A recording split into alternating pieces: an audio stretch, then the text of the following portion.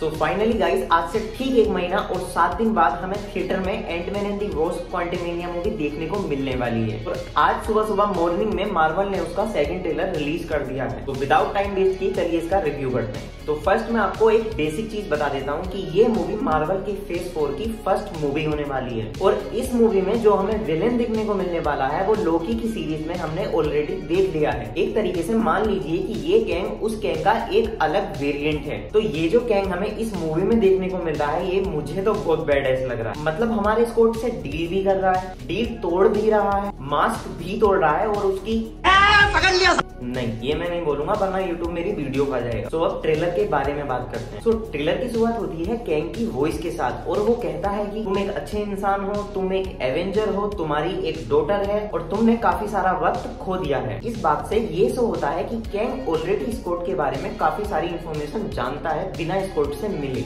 और तुम्हारे पास वक्त भी नहीं है। इस बात से कैंग का मतलब होता है अपना स्कोट थेनोस की स्नैप के बाद गायब हो गया था, वो भी पाँच साल के लिए। और इतने टाइम में उसकी जो लड़की थी, वो बड़ी हो गई है और हमारे स्कोट को ऐसा लगता है कि उसका बचपन उसने खो दिया है। अब आगे बात करें तो अगले सीन में हमें दिखता है कि कैसे उसकी लड़की की वजह से वो सारे लोग क्वांटम रीम में कैसे फंस जाते तो नेक्स्ट हमें कैंग स्कोट से कहते हुए दिखता है कि तुम्हें जो चीज़ चाहिए वो मैं तुम्हें दे सकता हूँ। तो यहाँ पर उसका मतलब होता है सिर्फ़ टाइम से। और ठीक अगले सीन में होप यानी जेनेट की माँ, हमें ये समझाती हुई स्कोट को नज़र आती है कि वो टाइम को कंट्रोल करता है, हमारा वजूद लिख सकता है, हमारी टाइमलाइन को बर्बाद कर सकता है, उस पर भरोसा मत करो। लेकिन हमारा एंटमैन कहाँ मानता है, वो वहाँ पर क्लियर मना कर देता है वो कहता है, ये आदमी चाहे कोई भी हो, मैं ऑलरेडी बहुत कुछ खो चुका हूँ और वो सब मुझे वापस मिल रहा है, मैं वो पाने के लिए कुछ भी कर सकता हूँ। फिर आती है ट्रेलर में असली वाइब मतलब यार, हम फ़ैन है मार्बल के, हम थके हैं पिछली दो तीन मूवीज़ को देखकर। और यही चीज़ और यही वाला मार्बल तो हमें चाहिए था।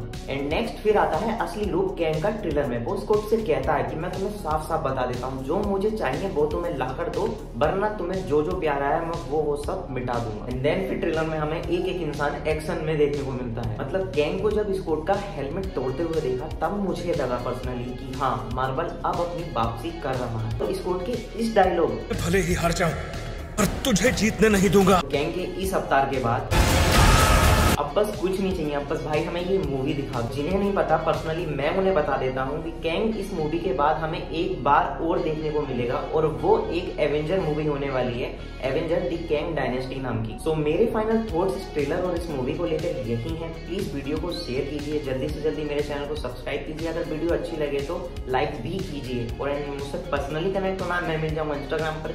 ये मेरा इंस्टाग्राम हैंडल है लिंक इन दी डिस्क्रिप्शन और गाइस प्लीज़ आपके सपोर्ट की बहुत ज़रूरत है। मेरे चैनल को अगर वीडियो आपको अच्छी लगी, अगर आप नए हैं तो मेरे चैनल को ज़रूर से ज़रूर सब्सक्राइब कीजिए।